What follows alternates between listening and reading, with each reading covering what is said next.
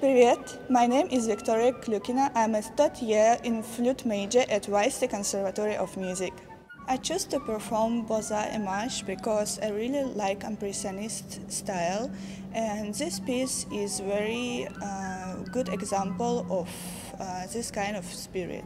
My hometown is Tashkent in Uzbekistan and I really miss my home and I would like to dedicate this performance on coming Wednesday to my family and friends.